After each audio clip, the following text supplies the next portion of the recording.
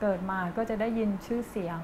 จะได้เห็นพระบรมฉายาลักษณ์ของพระองค์ท่านตลอดมานะคะ แม้แต่ในเหรียญที่เราเหรียญที่เราใช้อยู่ทุกวันนี้แบงค์ที่เราใช้อยู่ทุกวันนี้ก็มีพระบรมฉายาลักษณ์ของพระองค์ท่าน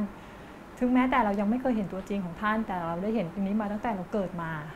ได้เห็นได้ได้เห็นได้แบบสิ่งดีๆ ที่ท่านทำให้กับประชาชนชาวไทยทุกอย่าง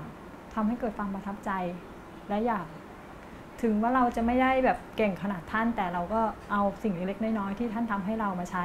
อย่างเช่น ตอนที่ครั้งแรกเคยได้ยินมาที่ประทับใจมากที่สุดก็คงจะเป็นยาสีฟันที่ท่านทรงใช้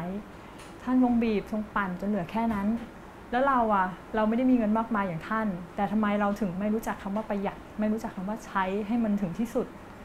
ท่านทรงทำแบบนี้อืท่านเป็นคนที่แบบทำให้เราตระหนักตรงนี้เราก็คือเอาปฏิบัตินำมาปฏิบัติในหลาย ๆ อย่าง ที่ท่านทรงทำให้เราเห็น แล้วคนหลาย ๆ คนพูดให้เราฟัง แม้แต่ครั้งล่าสุดนี้รู้สึกว่าในรายการโทรทัศน์จะประกาศสัมภาษณ์คนทำรองเท้าซ่อมรองเท้าให้ท่านรองเท้าท่านทรงเก่ามาก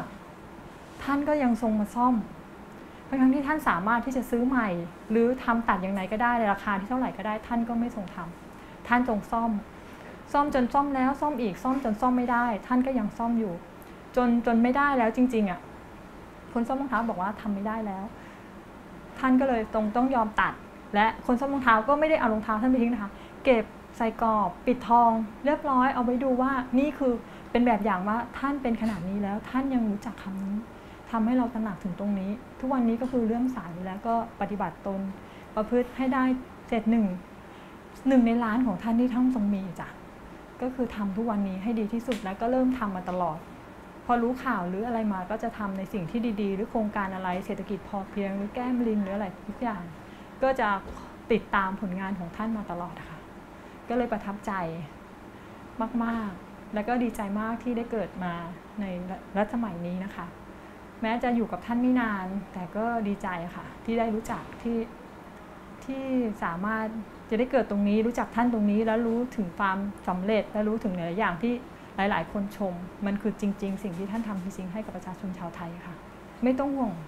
เพราะทุกคนเป็นลูกท่านแล้วโตแล้ว พ่อแข็งแกร่งขนาดนี้ลูกก็ต้องแข็งแกร่งตามรอยเท้าพ่อ ไม่ต้องห่วงไม่ต้องกลัวให้ท่านไปอย่างสบายใจ เพราะทุกคนที่ท่านปูทางไว้ หรือทุกสิ่งทุกอย่างที่ท่านทำไว้ ลูกจะทำทุกอย่างตามที่ท่านสั่งสอน แม้จะไม่ได้เทียบเทียงท่านแต่ก็จะพยายามทำให้ดีที่สุด